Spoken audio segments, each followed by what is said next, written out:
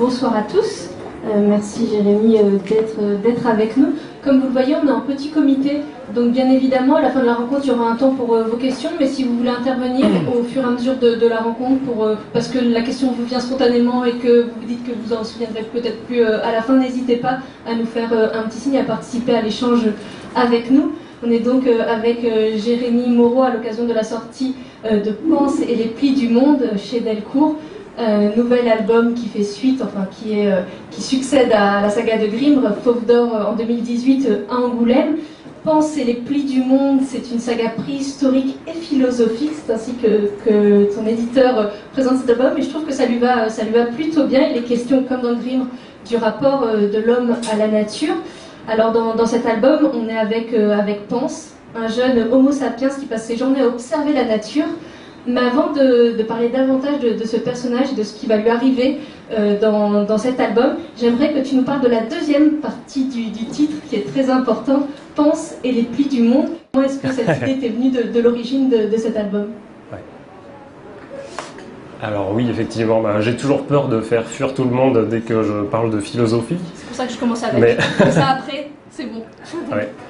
Mais effectivement, euh, quand je l'été où je mettais en couleur la saga de Grimm, je me suis mis à écouter plein de podcasts de Gilles Deleuze. Et, euh, et ça m'a complètement fasciné en fait, notamment un cours sur le pli. Bon, on va dire que ce qui a initié euh, Penser les plis du monde, c'est surtout deux, deux, concepts philosophiques. Le premier que voici, c'est en gros ça commence avec euh, les philosophes de la nature, on va dire, qui, en observant la nature, se demandent comment est-ce que, euh, est-ce que ça marche. Et par un système de déduction incroyable, ils finissent par découvrir plus ou moins les atomes, puisqu'ils euh, découvrent que c'est ce qui est... pour eux, le monde est, est, corruptible, tout s'écoule, tout se transforme, tout tombe en ruine, mais ils croient profondément dans l'éternité. Là, ça va être très long, je suis parti pour un truc très très long. Euh, on va passer ça. Et les plis. les plis. Les plis. on fait un bond de, de 1000 ans et il y a un type qui s'appelle Leibniz et donc euh, qui dit euh, les atomes c'est n'importe quoi. si c'était des atomes, tout s'effriterait comme du sable. La matière s'effriterait comme du sable. Et du coup, il met au point un espèce de système philosophique complètement dingue, qui nous paraît absurde aujourd'hui, mais qui à l'époque était complètement au cœur des réflexions des grands penseurs puisqu'ils étaient en train de, fonder toutes les mathématiques sur le concept d'infini. Et donc, il va imaginer un monde où la matière est en fait, il faut l'imaginer comme une immense feuille de papier qui se replierait à l'infini. Et à partir de là, il voit, il voit du pli dans les montagnes, il voit du pli dans les arbres, et donc il y a les plis de la matière et il y a les plis organiques. Donc même le germe en fait est aussi un système de plis, un espèce de pli musculaire, un espèce de pli ressort.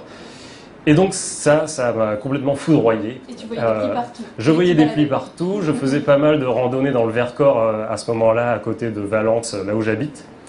Et donc je me disais, si j'étais un homme préhistorique et que je regardais tout ça, euh, qu'est-ce que j'en penserais? Et donc sortant. Pourquoi tu t'es dit si j'étais un homme préhistorique, parce que c'est pas forcément la première chose à laquelle euh, on pense, tu le dis comme si c'était une évidence. Toi, tu te dis pas ça quand Pas tous les jours. Euh, je me disais ça parce qu'il n'y avait pas trop de traces euh, humaines, en fait. pour une fois, il y, a quelques petits sentiers, mais j'imagine qu'il y avait aussi des sentiers à l'époque préhistorique. Mais je sais pas, des fois, je me balade, je me balade et je me dis comment est-ce que les hommes voyaient le monde avant, avant la civilisation? Puisque finalement ils ont été là euh, beaucoup plus longtemps que enfin, la civilisation, c'est très, c'est très récent, ça fait que 4000 ans et ça fait 80 euh, 000 ans, euh, que même là ils ont les nouvelles études disent 200 000 ans, 200 000 ans qu'Homo sapiens se balade, donc 4000 ans c'est que dalle. Donc le monde qu'ils ont vu, c'était bien plutôt le monde du Vercors. Quoi. Et donc, tu te balades, tu te dis qu'est-ce qu'un Homo sapiens verrait? Et de là, comment est-ce que tu te dis ce sera ça mon, prochain album ou En tout cas, j'ai envie un jour de l'utiliser et de, de, mettre en, dessin ce regard de l'Homo sapiens sur, euh, sur la nature? Oui, oui, bah alors ça, j'ai toujours plein d'idées euh, en tête que je fais avancer, euh, on va dire, comme un petit bousier fait avancer sa crotte. Et celle qui est la plus, la plus prête à, être, à passer à, la réalité, à la conception, se fait. Mais là, par exemple, pour la préhistoire, j'avais plutôt une histoire de, peinture à la base. Et puis les histoires mutent en fonction des nouvelles idées, de ce que je découvre, de ce que j'entends à la radio. Là, pour le coup, l'histoire de pli. Et puis, c'était un moment où j'entendais aussi plein de d'émissions à propos de l'invention de l'agriculture, ce genre de choses. Et donc tout ça s'agglomère un peu et euh, vient nourrir mon histoire. Et petit à petit, il y, a, une ébauche de trame qui se met en place, une ébauche qui devient euh, où je me dis là, il y a vraiment quelque chose d'intéressant, euh, quelque chose qui me motive vraiment. je sens que visuellement, je vais pouvoir aller explorer à fond cette histoire de pli. et voilà. Parce que tu l'as dit, il y a, l'agriculture aussi qui est, très importante, puisqu'on pense qu'il ne se fait pas vraiment admettre dans, son clan. Lui, quand je le disais, il, admire la nature, il l'observe, mais il ne va pas chasser, et il va se faire euh, rejeter euh, par son, clan. Et d'un seul coup, après un hiver euh, assez terrible, il va changer de, rapport vis-à-vis de la nature, c'est-à-dire qu'il va passer de l'état d'observateur à quelqu'un d'actif et qui va justement observer que bah, finalement les plantes ne sont pas euh, telle, qu'elle dans, la nature, c'est-à-dire qu'elle pousse, qu'il y a des choses qui se créent, et à partir de là, il va se mettre en tête de domestiquer quelque part euh, cette nature. Euh, comment est-ce que tu as réussi, ou est-ce que tu as eu des difficultés à, encore une fois, te, mettre dans cet état d'esprit de... parce qu'aujourd'hui, on connaît l'agriculture, on sait comment ça fonctionne, comment est-ce qu'on repart de zéro pour se dire comment est-ce que quelqu'un qui ne connaît pas du tout ça réussirait à s'en emparer? Ouais, c'était hyper dur et euh, c'est pour ça que j'ai failli abandonner mille fois le projet. C'est que je suis pas un Homo sapiens qui ne connaît pas l'idée du germe justement. Et c'était hyper compliqué parce que dès le début, j'avais tout le temps envie de mettre le mot graine. Sauf que non, ça, ça, ils peuvent pas savoir ce que c'est qu'une graine. Donc c'est pour ça que j'ai remplacé ça par des œufs d'arbre euh, quand il finit par comprendre plus ou moins comment ça marche. Mais ça demande une refonte entière de la perspective qu'on peut avoir sur ce qu'est la nature. Et euh, bon, sur la parole aussi, sur les dialogues. Euh, alors, euh, tous les gens à qui j'en parle, je me parle de Rahan ou je ne sais quoi, ou il y avait un album aussi de, de sur la préhistoire, et où du coup il, retire les sujets, où il retire pour faire, pour faire parler façon Tarzan, moi, machin. Mais très vite, je trouvais que c'était euh, mettre en place un, système euh, pénible de lecture. Euh, immédiatement, ça renvoie en tant que lecteur à se dire Ah, tiens, il, a fait cet effet de style. Pour moi, ça ralentissait et ça, ça empêchait l'immersion dans, dans la BD. Donc, je me suis dit bah, Je vais les faire parler quasiment comme nous, en fait. à ceci près qu'il y a quelques détails comme les saisons, bah, ils disent pas printemps, ils disent pas hiver. Il y a quelques petits trucs comme ça. Mais d'ailleurs, printemps, je l'avais glissé sans faire exprès. Euh, ça a été à la, dernière correction, parce que donc quand on fait un album, euh, après ça passe en correction orthographique, donc ça, moi, il y a plein de, fautes d'orthographe. Et puis dans, toutes les relectures, on essaye de retirer tous les petits problèmes qu'il peut y avoir euh, quant à l'histoire. Et là, il y avait le mot printemps qui restait, et c'était in extremis pour qu'on le retire. On va donc euh, suivre, suivre Pense, on parle de, nature, de, ce jeune Homo sapiens, mais il est aussi beaucoup question du rapport à l'autre. Euh, justement, puisque quand il va être, il va quitter son clan, mais il va en rencontrer euh, un autre. C'est aussi ça qui est très important euh, dans, cet album, c'est comment est-ce que on, échange avec les autres et comment est-ce qu'on regarde l'humanité et comment est-ce que on quitte ces, jugements quelque part par rapport à l'autre et qu'on apprend à les connaître. C'est aussi cette observation-là, c'est-à-dire c'est l'observation, c'est un appel à observer la nature, mais aussi un appel à observer les autres. J'ai l'impression. Oui, c'est exact. Alors là, je ne sais pas trop sur quoi embrayer, mais. Euh, par rapport justement au clan qu'il retrouve et comment il se fait accepter, ou comment en tout cas euh, c'est important aussi qu'il ne reste pas seul face à, cette étendue. Oui, oui bah ça c'est un peu les, mécanismes du scénario. Du coup, alors au début, il est dans un clan, il n'est pas à sa place parce que ce clan est nomade, est toujours en mouvement, et lui euh, est plutôt à l'arrêt dans l'observation de la nature. Puis il se fait rejeter du clan parce qu'il ramène rien à manger. Et il se retrouve donc un hiver avec, euh, avec sa mère, il perd sa mère dans des circonstances terribles. Là, il se met à créer un champ, en gros. Et effectivement, là, il y a un clan, un nouveau clan qui vient le rencontrer. Et, euh, et en fait, là, une année s'est passée, il se retrouve à nouveau en hiver. Et en gros, si ce clan n'avait pas été là, il serait mort cet hiver-là parce que son, son champ n'a pas eu le temps d'être euh, suffisamment efficace pour qu'il puisse se nourrir cet hiver-là. Et donc il se retrouve forcé de cohabiter avec euh, ce nouveau clan et donc forcé de, de, de remettre en cause un peu sa, sa misanthropie. Et bon, surtout aussi, euh, il tombe un peu amoureux d'une, fille de- du fameux clan. Et, euh, Qui elle ne voit pas le monde avec des plis Qui elle le voit différemment par le monde Ouais, ouais, ouais. Il y a une confrontation entre les deux personnages. euh. Donc le héros, lui, voit vraiment la Terre comme euh, quelque chose d'organique, de vivant, de quelque chose qui se, déplie. Et elle, elle voit plutôt euh, les esprits dans le ciel euh, et qui, qui représentent les morts, tout ça. Mais donc une espèce de confrontation tertielle euh, entre les deux.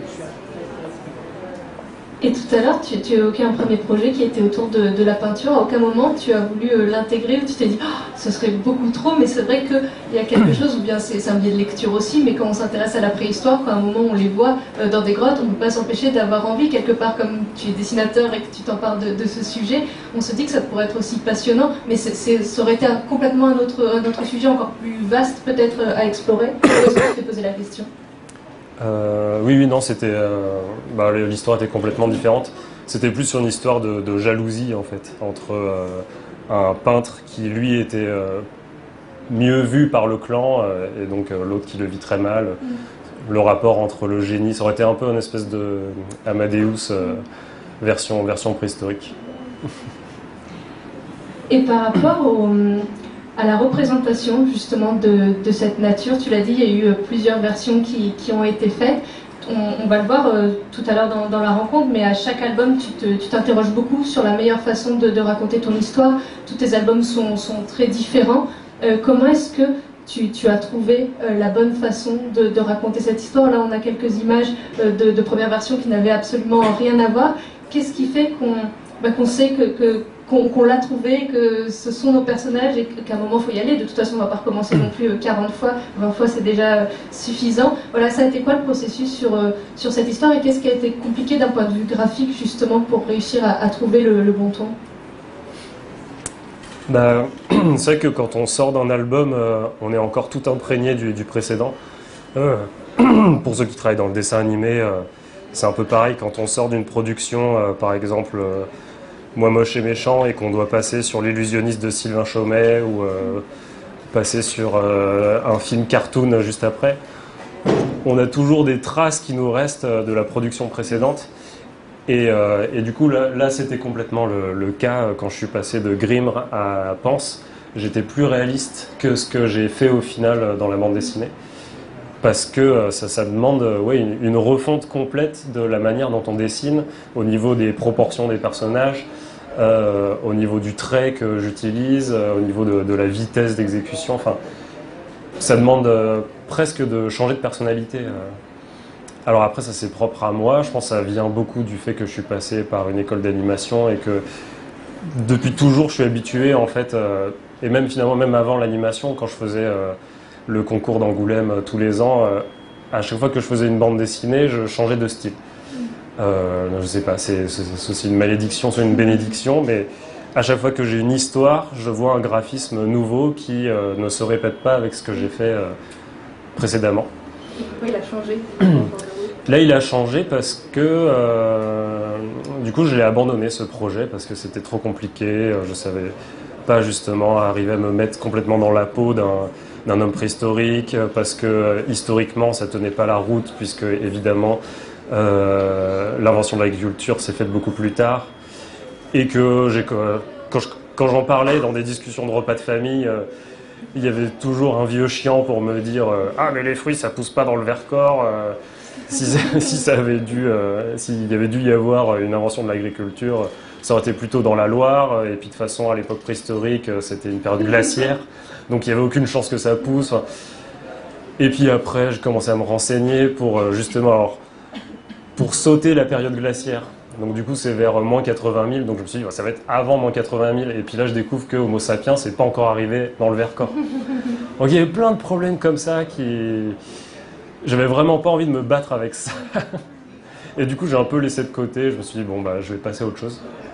Et j'étais passé sur un projet plus autobiographique, dans un style complètement différent, encore une fois, et euh, où j'allais chercher des références plus euh, chez Franquin ou Bill Watterson. Euh, J'avais envie d'un truc super frais, super rapide, où je me fasse plaisir, et où je puisse... Images à Angoulême d'ailleurs Oui. dernière? Oui, oui, j'avais commencé quelques planches, j'avais tout réécrit le scénario, euh, j'en ai reparlé à mon éditeur, donc c'est vraiment euh, le- le- l'embrayage, euh, c'était fait quoi. Et, euh, Et finalement, non. et là, j'ai reçu le Fauve d'Or. en fait, c'est le Fauve d'Or qui a fait que je me suis dit Ah, mais finalement, ce projet, il est tout petit, il est un peu nul. euh. Et puis, euh, surtout, ça parlait de moi, je me dessinais moi en tant que personnage. Et, euh, je sais pas, j'étais pris d'une espèce de pudeur. J'avais qu'une envie, c'était de m'enfermer chez moi. Tout d'un coup, il y avait vachement d'articles. J'étais beaucoup mis en avant. Et du coup, c'était plus du tout approprié de faire une bande dessinée avec ma tronche dessus. Et, euh, et puis c'est aussi, j'avais un peu abandonné ce projet-là parce qu'il était trop gros, trop compliqué. Euh, je, je sentais que ça allait me prendre encore deux ans. Et donc j'avais fait l'autre projet un peu pour me, me redonner un peu d'énergie, de, de dynamique. Mais là, du coup, tout gonflé euh, de reconnaissance du Fauve d'Or, je me sentais bien reparti pour deux ans. Et, euh, T'as évité les repas de famille, du coup, pour éviter les tontons. qui- Ouais, c'est ça, ouais. Oui, oui, en fait, euh, là, j'ai commencé à me dire, bon, c'est un conte, justement, comme tu l'as dit, c'est un conte philosophique, euh, préhistorique, euh, et puis euh, je vais pas m'embêter, de toute façon, c'est... Ah oui, j'étais tombé aussi sur des youtubeurs qui font des chaînes d'histoire. Là, il y a tout un mouvement en ce moment chez les historiens assez cool, où c'est des jeunes qui vulgarisent pas mal l'histoire. Et il y en avait une qui s'appelait l'invention de l'agriculture, et le premier truc, c'était et non, l'invention de l'agriculture ne s'est pas faite par un seul mec euh, en, quelques jours. Euh, Or, c'est exactement ce qui se passait dans ma BD. Donc là, j'ai fait le deuil définitivement euh, d'une quelconque plausibilité historique. Et donc je me suis dit, voilà, on s'en fout, c'est un- conte, c'est atemporel, c'est symbolique. Je retrace un peu toute l'histoire de l'humanité à travers ce personnage dans son rapport à la nature. Et là, j'ai bifurqué, on parlait d'autre chose en fait. On parlait, non, on parlait de ça, mais on parlait de comment est-ce que tu l'as retrouvé, où tu as changé le graphisme justement pour cette nou- nouvelle Ah oui. version. Oui, oui. Et donc, du coup, quand j'ai repris le projet, eh bien, ce coup-ci, je gardais des traces du projet fantôme, euh, qui du coup était beaucoup plus euh, franco-belge, plus cartoon, euh, dans des proportions plus semi-réalistes et moins réalistes que sur Grimm. Et, et ça m'a bien plu, en fait. Mais c'est ça, c'est qu'il y a quelque chose très euh, comme d'un mix, justement peut-être dans le rapport à la nature et tout ça, mais comme un mix de, la saga de Grimm et de quelque chose, euh, tu évoquais Franquin, mais presque de l'ordre du, du dessin animé quelquefois dans, les personnages, j'ai l'impression notamment sur les gros plans où il y a leurs émotions. Je pensais aussi des fois au, au manga, ce qui était le cas dans, dans Max Winson où il y avait des références, on pouvait voir des fois des influences, et là on peut voir un petit peu la même chose dans le sens où il y a des personnages où, euh, voilà, quand, quand ils transpirent, quand ils ont peur, il y a les grosses gouttes, qui, enfin des codes qui rappellent le, le dessin animé, l'animé, enfin des Alors, choses. pour moi, c'était plus la BD, ça. la BD, ouais. Ouais. Mais du coup, il y, a- il y a ça vraiment, c'est-à-dire c'est ce mix comme si c'était euh, posé justement de deux univers, peut-être euh, parce que c'est lié justement à la représentation de la nature, où j'ai l'impression qu'il y avait justement la continuité de Grimm et quelque chose de beaucoup plus cartoon. Ouais, pour moi, le côté cartoon, il venait vraiment plus euh, d'une reconnexion à des vieilles bandes dessinées, et notamment, alors beaucoup euh, Tezuka. Euh, en plus, il y avait une exposition à Angoulême, du coup, j'avais vu les, les planches originales, là, j'avais trouvé ça génial, génialissime. Je pense que les petites gouttes, tous ces codes-là, c'était plus une reconnexion vraiment à la tradition de la BD, à la fois franco-belge, Astérix. Des, des- des trucs qu'on laisse un peu de côté quand on devient étudiant en art et qu'on on se met à avoir des, des références un peu plus pointues, on va dire. Et puis après, en vieillissant un peu, bah, finalement, on revient aussi à, à des trucs plus, plus classiques. Et bon, après, moi, j'ai toujours euh, beaucoup été influencé par euh, Winsor McKay. Mais, mais ouais, le côté cartoon, est-ce qu'on peut retrouver des, planches euh, pour voir justement la, la différence de On va style. pouvoir. Euh. Dans exercice mise en scène, j'ai des, j'ai des planches. Dans, dans, dans, dans, dans échelle de case.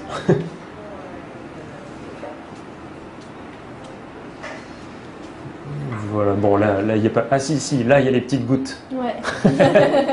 les fameuses petites gouttes. Mais voilà, c'était vraiment le genre de truc que je faisais pas du tout avant et qui rend vraiment un, un côté euh, très, très cartoon. Mais bon voilà, euh, les petites gouttes c'est juste c'est facile à, à pointer du doigt, mais c'est dans, dans tout. Et c'était aussi, euh, ah oui aussi j'ai lu pas mal euh, Jimmy Corrigan et espèce de, de livre monstre. Je pense que j'étais jamais arrivé au bout, tout en me disant à chaque fois c'est génial, mais en n'arrivant jamais au bout. Et un jour j'ai pris un bon gros dimanche, et là je me le suis fait. Et c'était vraiment génial. Et là, euh, et là, ça m'a complètement révolutionné la tête euh, et je me suis dit, ah, là, il faut, il faut que je change quelque chose dans ma manière de, de mettre en page et de, de faire de la bande dessinée. Et ça vient beaucoup de là, euh, du coup, l'utilisation des toutes petites cases. Tout d'un coup, je me suis dit, mais c'est bizarre, j'ai l'impression que quand je veux impacter le lecteur, quand je veux faire quelque chose de classe, je veux, j'avais tendance, comme tic, à faire des grandes cases, comme s'il fallait immédiatement que ce soit grandiose. Et là, tout, d'un coup, je découvrais la, petite case dans ce a de, magnifique, de, petits bijoux. euh, et il y a ça aussi dans, Tezuka, des fois il y a juste une petite tête, elle est tellement bien faite, tellement belle, que j'ai envie de m'arrêter dessus. Et, et donc j'avais l'impression tout d'un coup d'avoir un, nouvel outil que j'allais pouvoir explorer à fond pendant toute une bande dessinée, et c'est ce que, ce que j'ai fait. Et c'est un super exercice parce que euh, arriver à faire une composition claire, à faire un dessin lisible en tout petit, et ben c'est pas du tout facile en fait. Même euh, des fois c'est plus compliqué que de faire un grand beau décor.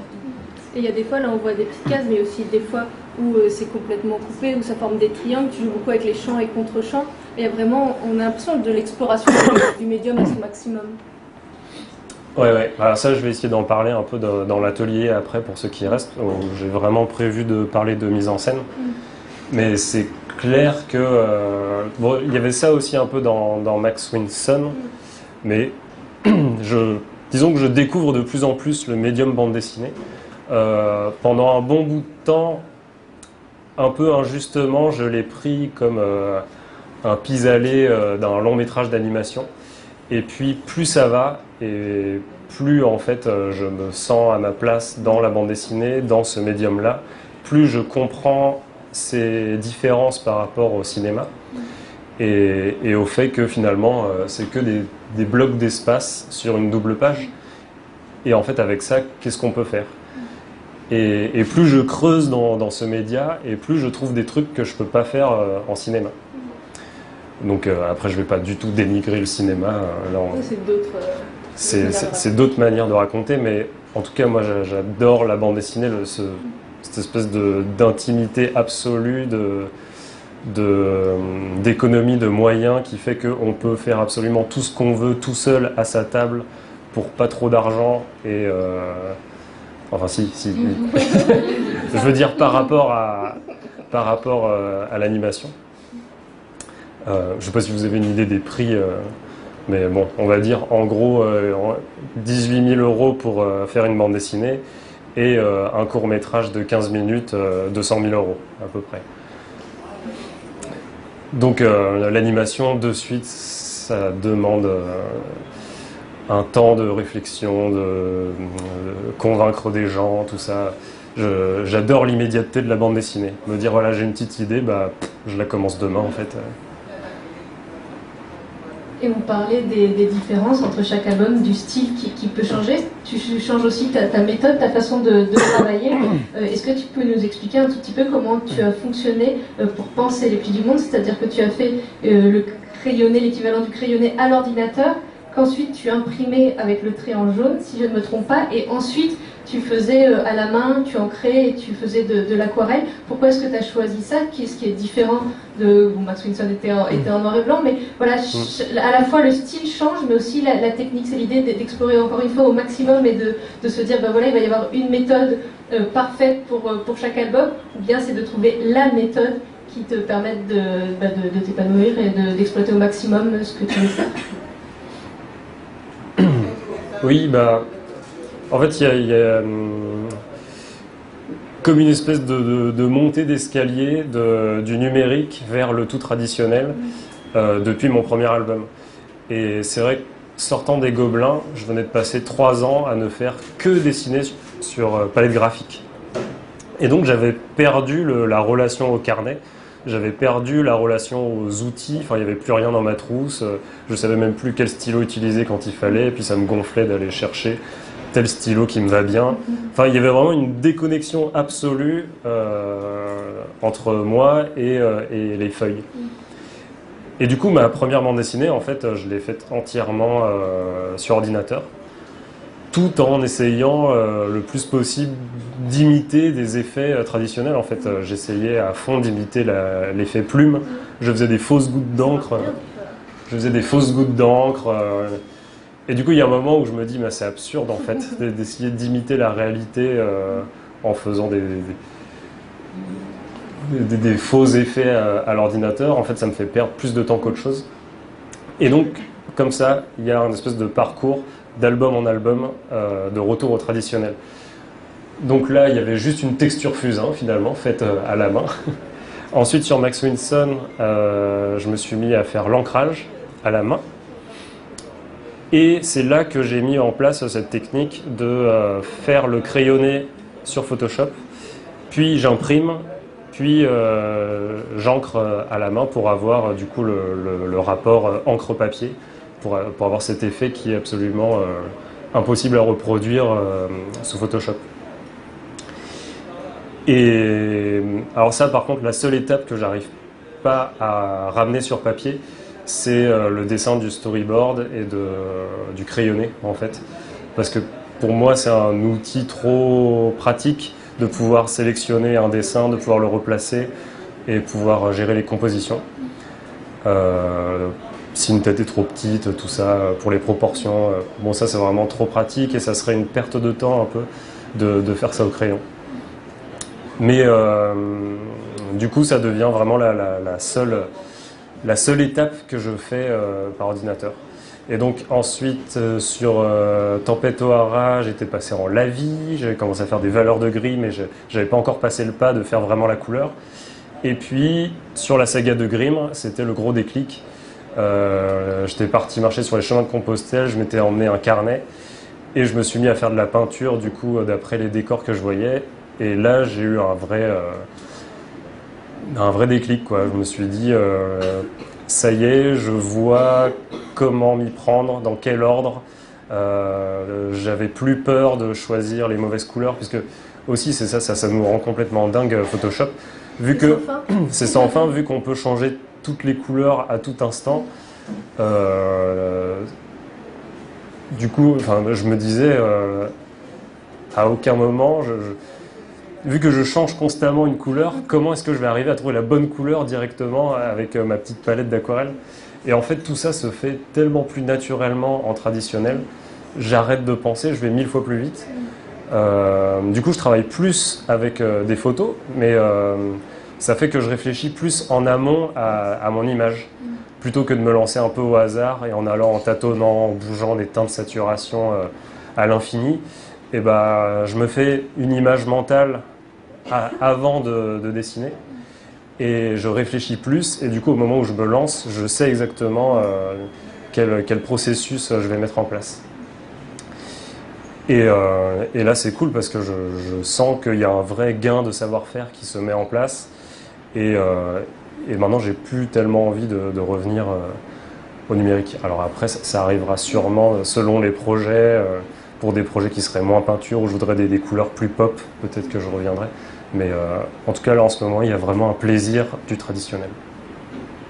Et tu évoquais euh, l'animation. Tu, disais que de plus en plus, tu avais envie et tu, explorais le médium bande dessinée, toutes ces, possibilités euh, qui sont différentes de, l'animation. Mais est-ce que, malgré tout, ou bien de, quelle façon est-ce que tu dirais que ton expérience dans l'animation, et tu continues à travailler euh, dans l'animation, mais de quelle façon est-ce que ça, nourrit ton travail en, bande dessinée? On parlait de, caractérisation des personnages, est-ce que ça tu le tiens aussi euh, de, cette expérience de caractère design? Est-ce que, voilà, qu'est-ce que selon toi, tes, années quelque part de formation euh, dans l'animation et de travail sur des films d'animation t'ont apporté en tant qu'auteur de bande dessinée?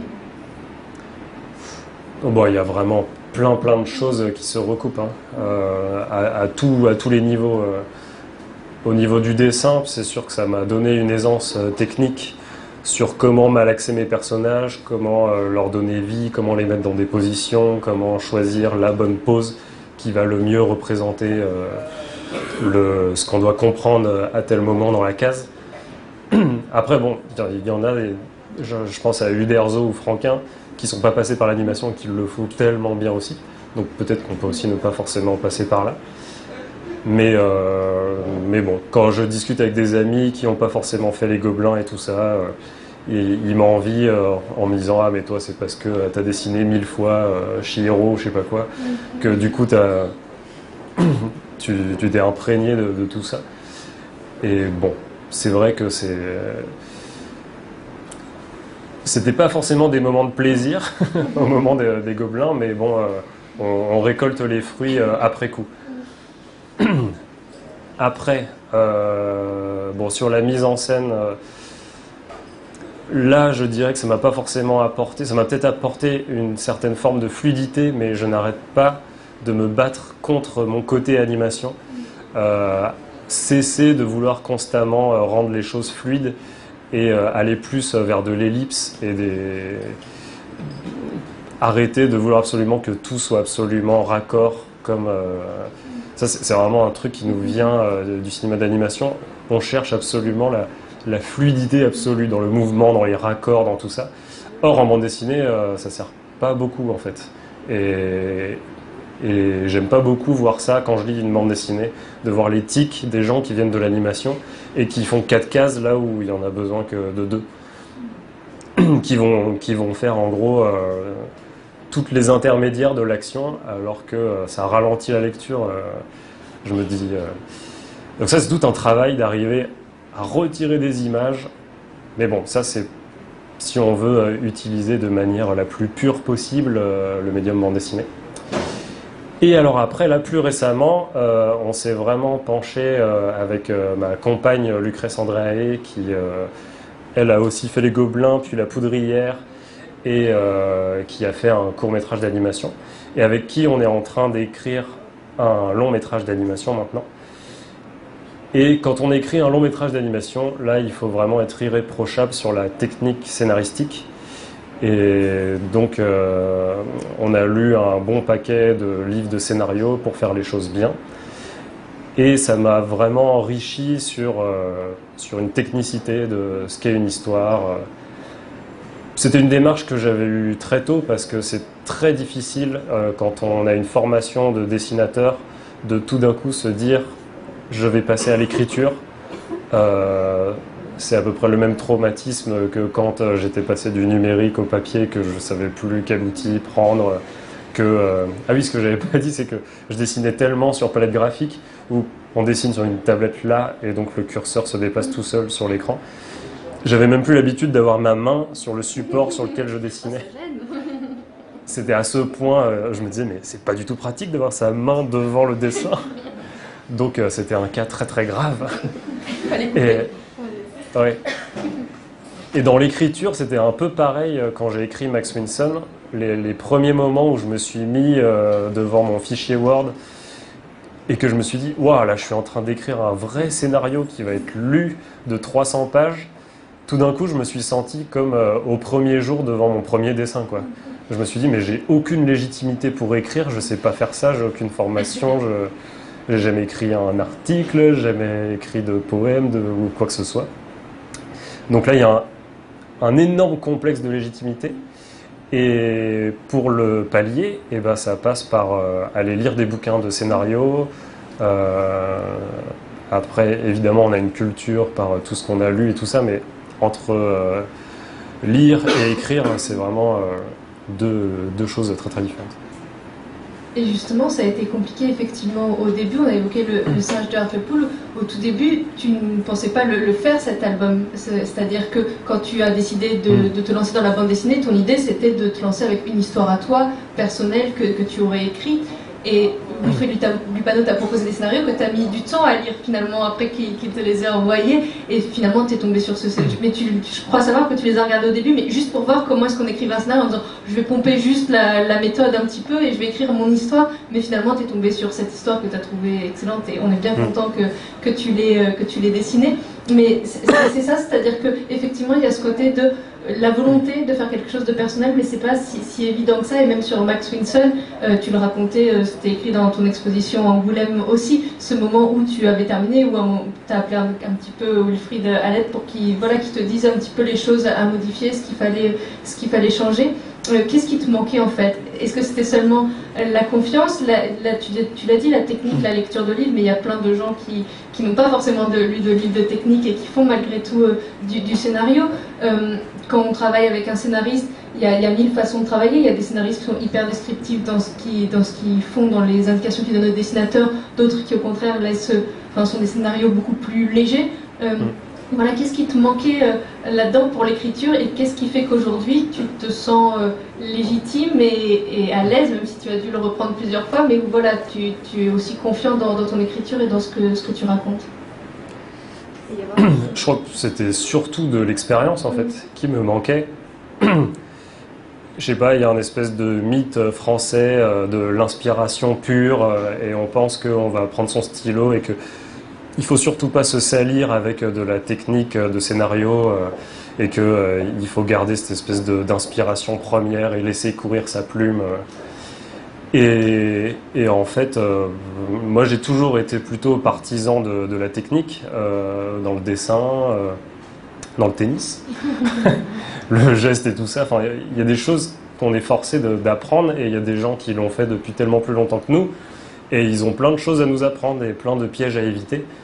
Et, et c'est exactement ce qui s'est passé en fait quand j'ai commencé à écrire les premières Hum, les, premières pages de scénario de, Max Winson, quand je l'ai envoyé à mon éditeur, il m'a dit qu'il y avait plein de problèmes. Et, c'était le cas. En fait, il y avait plein de plein d'écueils dans lesquels je suis tombé. Euh, il y a plein de trucs et astuces. Par exemple, pour parler de trucs un peu plus concrets, euh, si, on, annonce quelque chose qui, va se produire et que ça se produit, on fait une lecture super chiante et en fait, quand on n'a pas euh, ça à l'esprit, quand on n'est pas tombé dans ce piège plusieurs fois, eh bien, euh, on le fait. On, le fait de partout. Moi, j'avais un copain là qui avait écrit une histoire sur une de ses randonnées et il croise des touristes qui lui disent Attention, il y a un orage qui se prépare. Et, et sa bande dessinée, c'est comment est-ce qu'il galère dans l'orage pendant sa randonnée avec sa tente et tout ça. Et donc ça, c'est un truc de base en scénario, ça s'appelle le fossé narratif, c'est-à-dire que c'est le fossé qui sépare entre ce à quoi on a préparé le lecteur euh, à découvrir. Euh, on le met sur une fausse piste où on lui dit il va se passer ça et, et, euh, c'est le cas. en fait, il, faut que les randonneurs, avant la randonnée, il faut qu'il y ait un temps magnifique et qu'ils lui disent ah, vous allez voir, c'est que du bonheur. et que après, quand on, quand on découvre le truc, il y a une espèce de, pulsion de surprise, de quelque chose comme ça. Euh, bon, là, c'est un peu grossier mon exemple, mais en fait, c'est plein de petites choses comme ça, de caractérisation de personnages. De souvent, on est trop timide. Euh, quand on écrit des scènes, on a tendance à vouloir être trop gentil avec son personnage. Euh, bon, là, je vais pas vous, vous spoiler le, début de la bande dessinée, mais il se passe un truc absolument terrible dans la grotte entre le héros pense et sa mère. Et au début, j'étais plus doux que ça euh, dans ma scène. Euh, et, du coup, Lucrèce, ma compagne, là, quand elle l'a lu, elle m'a dit non, mais vas-y, carrément, il faut que ce soit un traumatisme. Alors, ça, c'est un problème euh, de base. donc, je parle beaucoup de Lucrèce parce qu'on parle beaucoup de scénarios ensemble. Et elle était intervenue au Gobelin sur les scénarios des films de fin d'études. Et c'était le problème récurrent. Elle aurait presque pu dire ça à tous les films, c'est que c'est toujours trop gentil, c'est toujours, ça va pas assez loin. On est trop timide en fait euh, dans, les scènes qu'on met en place. Et il faut vraiment faire hurler les personnages, il faut les, amener à bout pour qu'ils sortent vraiment ce qu'ils ont à sortir. Et ça, c'est des trucs, euh, il faut avoir écrit plein de fois euh, des scénarios. Et, et puis il y a aussi le, comment arriver à tourner autour de son sujet. Aussi, il faut avoir vécu une sortie d'album. Il faut avoir réussi à écrire un scénario en entier et avoir vu quel impact ça avait sur des lecteurs autres que soi-même. Et ça, c'est un truc toujours incroyable, toujours mystérieux pour moi. Euh, c'est cette espèce de fossé qu'il y a entre ce que j'ai dans la tête et comment c'est perçu par euh, l'autre. Et là, je suis en plein dedans parce que la BD vient de sortir, donc j'ai que les premiers retours. Et c'est pas du tout ce que tu. Si, il y, y, a des trucs, euh, il y a des trucs auxquels je m'attendais, mais des choses non. Euh, et c'est assez intéressant et il faut toujours laisser décanter 3-4 euh, mois de retour de gens qui lisent ce qu'on a fait pour percevoir vraiment, euh, vraiment ce qu'on a fait. Mais c'est toujours un mystère énorme. Là, je commence déjà à réfléchir à ma prochaine BD. C'est toujours très intrigant le fossé qu'il y a entre ce que je crois faire, ce que je projette de faire et la manière dont c'est perçu. Et par exemple, sur ton tout premier scénario, sur Max Windsor, euh, ça, a été, ça a été reçu différemment euh, de ce à quoi tu t'attendais. Ça rejoint une autre question qui est que euh, dans, tes albums, ce dont tu as fait le, scénario, il y a des choses très personnelles. En tout cas, il y, a, beaucoup de toi dedans. Est-ce que c'est des choses dont on se rend compte après C'est-à-dire une fois qu'on l'a fait, on se dit Ah ouais, j'avais mis ça, mais je m'en étais pas rendu compte sur, le moment Ou est-ce que c'est très conscient le fait de, bah oui, forcément, on se nourrit de son expérience, de sa vie pour nourrir ses écrits, donc on en a conscience? Sur les scénarios, en général, je suis quand même plutôt agréablement surpris de la manière euh, dont c'est compris, euh, notamment les articles de presse. je pense que c'est là que les gens font le plus d'efforts pour faire un retour, puisqu'ils prennent vraiment le temps d'écrire quelque chose et de se plonger dans le livre. Et sur Max Winson, par exemple, j'étais vraiment très content des, retours presse. Euh, là où je suis toujours très étonné, c'est sur la réception graphique j'ai toujours l'impression de faire quelque chose de quand même relativement grand public. Euh, par rapport à mon petit milieu de dessinateur où on regarde des choses comme euh, Olivier Schrawen, euh, Brecht Evans, plein, plein de trucs comme ça, Marion Fayol et tout ça. Et, et quand, quand, moi je fais mes bandes dessinées, j'ai l'impression de faire un truc ultra mainstream, hyper dessin animé. Et puis quand je me balade en festival et que j'ai les familles qui ouvrent mes albums, et quand je vois la tronche qu'ils font. Ou, alors, le meilleur exemple, c'était euh, Tempête O'Hara, puisque c'était un roman jeunesse, donc il y avait déjà plein de petits fans qui adoraient euh, cette BD sur les chevaux. Et j'étais au, salon de Montreuil, il y avait en présentoir du coup le roman avec la BD, et j'entends une petite fille euh, avec sa, pote qui, qui lui dit Oh, regarde, ils ont fait une BD du roman et tout. Euh, vas-y, on regarde, on regarde. Et là, ils ouvrent, ils font Ah oh, la gueule du cheval Et du coup, là, je me. J'essaye de, de, me projeter dans quelle image elle avait, elle, du truc. Est-ce qu'elle avait euh, une image euh, très disneyienne, puisqu'on est très influencé par ça, ou, ou, quelque chose de complètement différent, je sais pas. Mais pour moi, c'est un mystère absolu euh, de la réaction qu'ont les gens à chaque fois face euh, au style graphique que je propose. Et par exemple, euh, la saga de Grimm, j'avais l'impression de faire un truc hyper classique où j'allais. parce que dans, le milieu BD, il y a quand même. là, j'ai l'impression qu'il n'y en a pas trop. le gros du lectorat qui a grandi avec Bug Danny et tout ça, ce que, on appelle un peu la BD à papa. Et c'est un peu les gars qu'on voit beaucoup en festival de bande dessinée. Et donc c'est un peu pénible parce que du coup on voit surtout eux euh, qui ont fait la queue pendant des heures et du coup qui empêchent les gens normaux qui, ne collectionnent pas 5000 BD par an euh, d'arriver jusqu'à nous et surtout les enfants. Mince, j'ai perdu ce que je disais. Sur réception, sur les gens qui venaient te, voir et sur la saga de Grimm, la ah oui. le sentiment d'avoir fait quelque Et donc la saga de Grimm, je me suis dit, ah, alors là, ah oui, parce que donc quand ils arrivent à moi, quand même, à chaque fois, ils font quand même une espèce de grimace de, bon, c'est pas vraiment la BD que je lis d'habitude, mais comme euh, mon libraire me l'a limite mis dans, les, dans mon sac, euh, je, fais, je fais un effort. Hein. Et puis, enfin, c'est des gars, ils font ça toute la journée. Enfin, sur Max Winson, j'ai des mecs à couder, ils parlaient entre eux, ils me regardaient même pas. Ils me disaient Alors, qu'est-ce qu'on a aujourd'hui? Donc voilà, c'est ce genre de personne-là. Et quand je faisais euh, la saga de Grimm, je me suis dit, alors là les gars, je vais faire une BD pour vous. Là, là c'est historique, c'est quand même euh, bien... c'est quand même bien travaillé niveau contexte historique et tout. J'avais bien travaillé, j'avais lu plein de bouquins d'histoire pour que tout soit véridique, contrairement à dans Penser les plis du monde. Et le graphisme, je me disais là, c'est quand même, c'est quand même les boutons de manchette, ils sont bien faits, euh, les costumes, j'ai bien travaillé, les décors et tout. Et encore une fois, la gueule qu'ils ont tirée quand ils ont vu le truc. Je sais plus, il y avait un article justement sur euh, BD Geste où il disait un peu euh, frivole avec la précision. Alors que j'avais eu l'impression d'être hyper précis. Donc voilà, c'est toujours une surprise phénoménale. Donc là, j'attends euh, Penser les plis du monde. J'ai encore l'impression d'avoir fait un truc hyper classique. J'ai l'impression de faire des trucs de plus en plus classiques. Et bon. Tu viens de dire le contraire. Parce que finalement, le fait d'explorer le médium, comme tu dis, qui est un retour peut-être à des classiques, c'est pas ce qui se fait forcément le plus euh, aujourd'hui, justement, où on est dans quelque chose plus de l'ordre du roman graphique et quelque chose de plus justement classique dans la narration. j'ai le sentiment. Euh, je sais pas, tu penses à, à quoi? Bah, Je pense à je pense euh, au. Enfin, là j'ai en tête l'arabe du futur, mais pas. Il y en a plein d'autres où c'est plus de la narration, je veux dire, mm. classique, dans le sens où il y a moins des livres, il y a quelque chose, il n'y a pas forcément ce jeu avec les cases comme on trouve dans ah, le du monde. On le trouve quand même assez rarement, enfin en tout cas dans pas la majorité des, publications.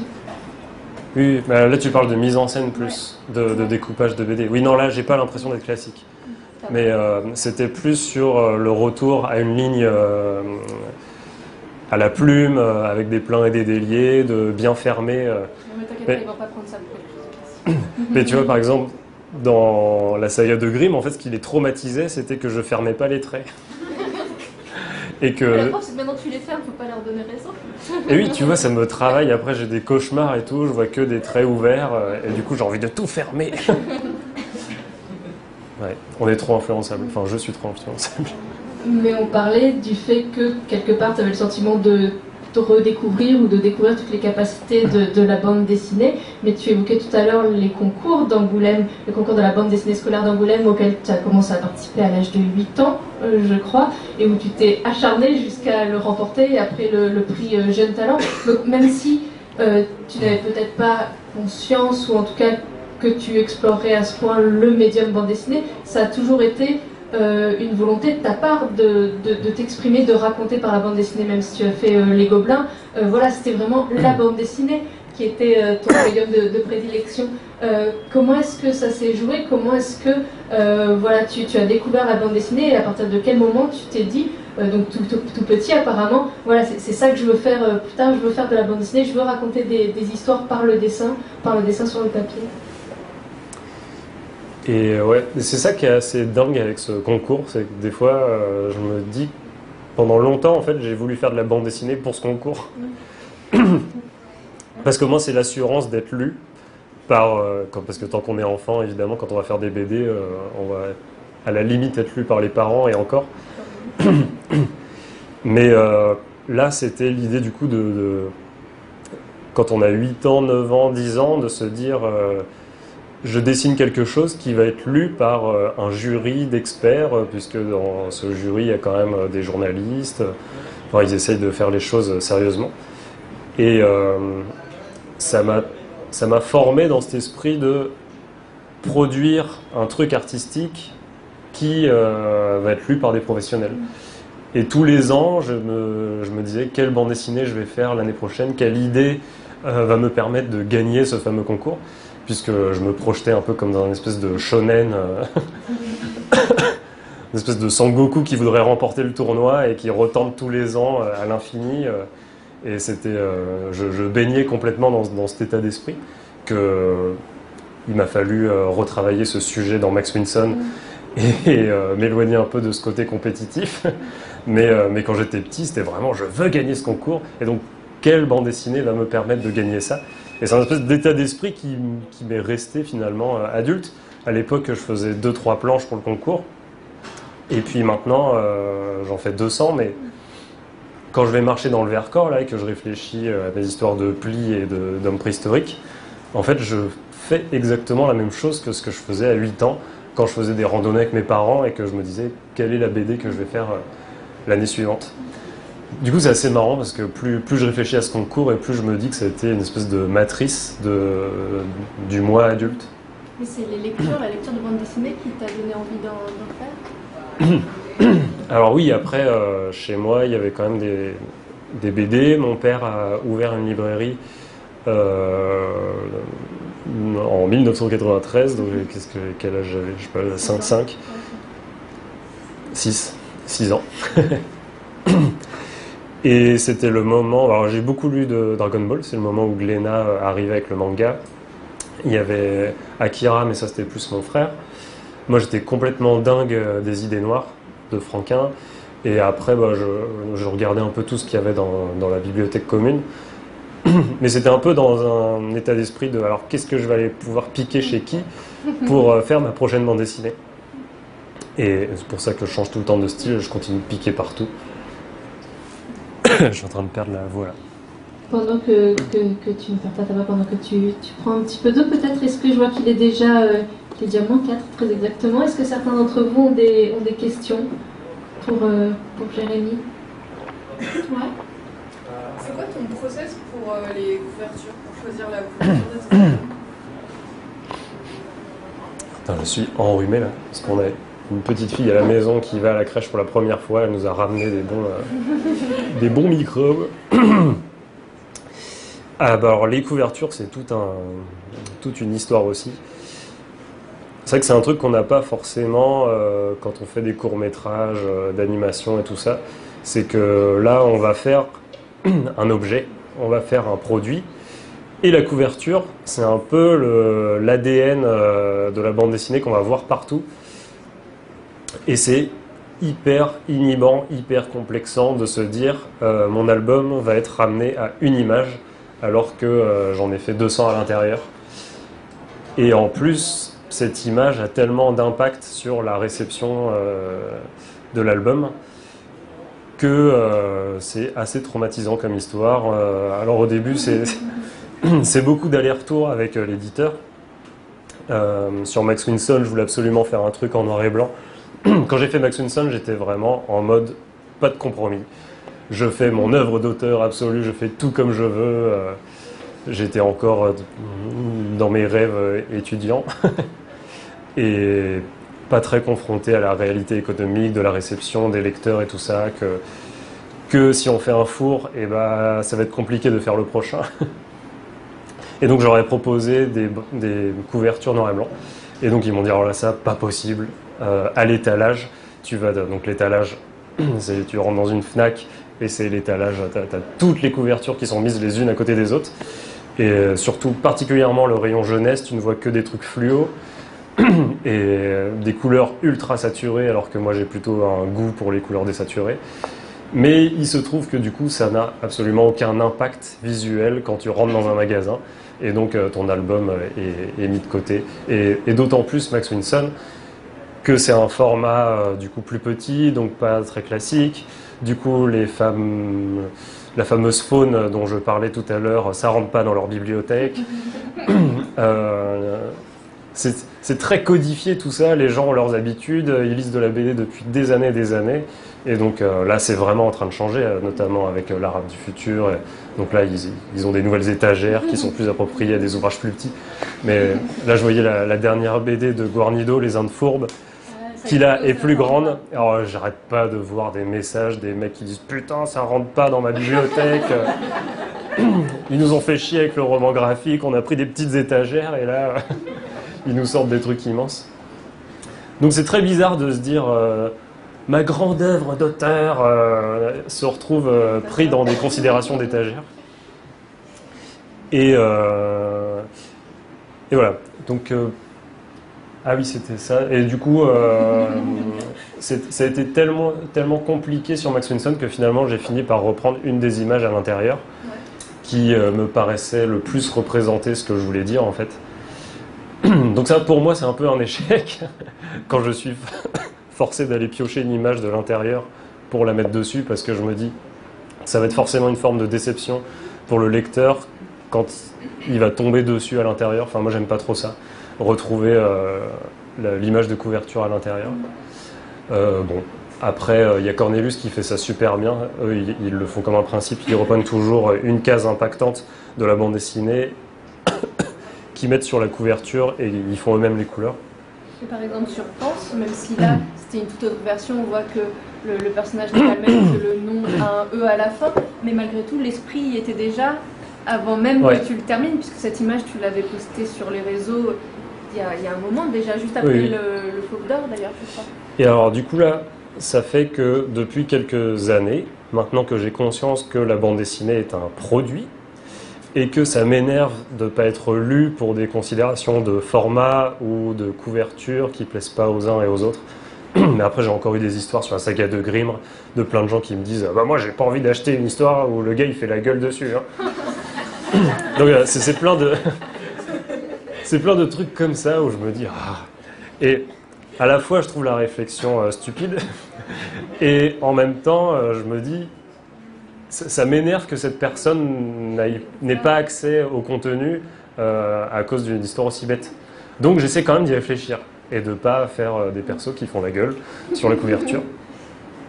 Mais voilà, disons que tout ça fait que je me dirige vers un processus que maintenant quand je réfléchis à une histoire, je me dis ok, ça va être un produit qui se base sur en gros trois caractéristiques fondamentales qui se passent en quelques minutes quand le mec est debout dans la librairie. Donc c'est la couverture. La couverture, c'est le premier truc qui va faire que peut-être il va ouvrir ou pas le livre. Ensuite, c'est le, petit texte derrière, ou le pitch en tout cas. Est-ce que ça va être assez facile à, résumer pour le libraire? En, quelques phrases, il, va pouvoir euh, mettre le truc dans les mains du lecteur En gros, c'est vraiment ça le défi. Oui, alors moi j'ai toujours un problème avec ça, mais en tout cas j'essaye de plus en plus de réfléchir à ça. Et le, juste, la, le troisième truc, c'est le feuilletage. Donc couverture, le pitch, le feuilletage. Et c'est hyper énervant de se dire que euh, l'œuvre qu'on a mis deux ans à mettre en place, qui est le fruit d'un long travail, euh, va être lue ou pas à cause de trois petits trucs qui se passent en, une minute. Et euh, je pensais à un autre truc.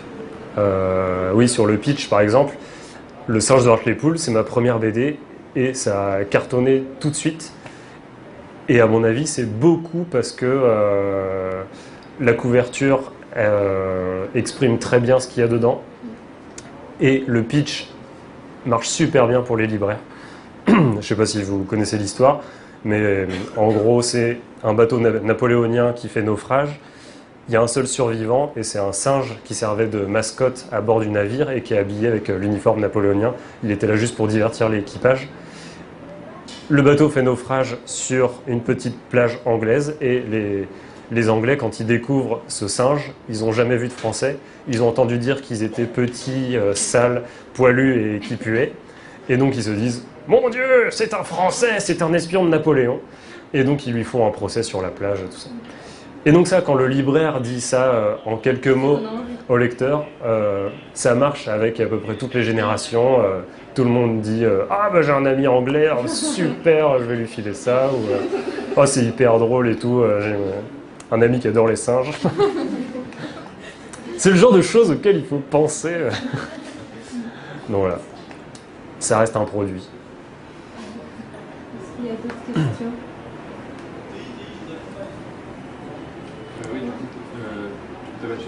il y avait un peu sur une couverture et pas sur l'autre. Ah oui.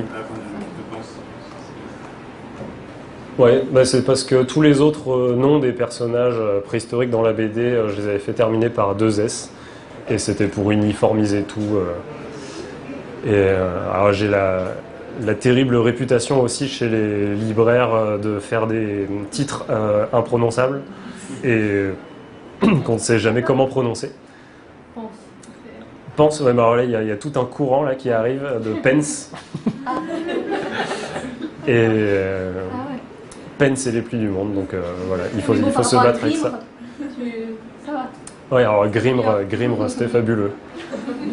Grimir, euh, Grimer, Grimur, j'ai eu droit à tout. Ça aussi, j'avais pas, j'avais pas anticipé. Mais maintenant, ça me donne un peu envie de les embêter et d'aller chercher des noms vraiment compliqués. Mais Arc les poules, déjà, c'était très bien. C'était compliqué aussi. Moi, j'ai- j'ai une autre question. Euh, tu écris euh, ton scénario entièrement pour la BD. Est-ce que c'est un dialogué ou euh, il y a des choses que tu te réserves euh, au storyboard euh, que tu fais sur ordinateur Alors là, les, les bouquins de technique, de, au début, je suivais vraiment ce qui était écrit dans les bouquins de théorie sur le, sur le scénario. Et en gros, comme quand on aborde un dessin, il propose de faire un, un petit croquis vite fait, puis tu vas faire un, un tie-down, comme disent les animateurs, euh, plus précis, où tu mets tous les éléments, puis tu vas faire euh, le clean. Et ben en fait, pour le scénario, c'est un peu pareil.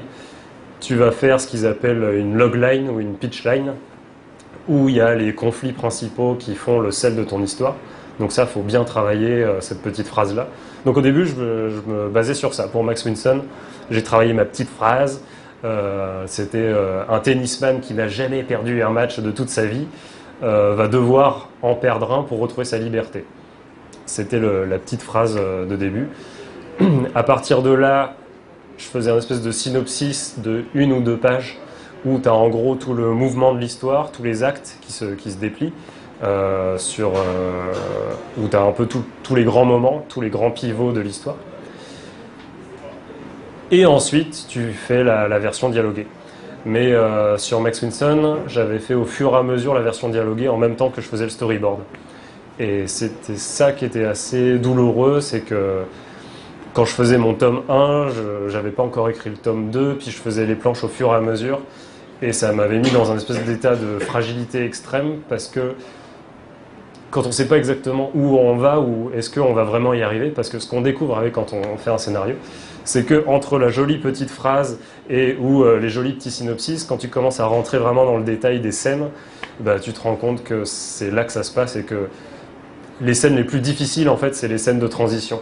Assez rapidement, tu trouves tes, scènes pivots, les, scènes qui te donnent envie de faire ce film, enfin, ou ce- cette BD.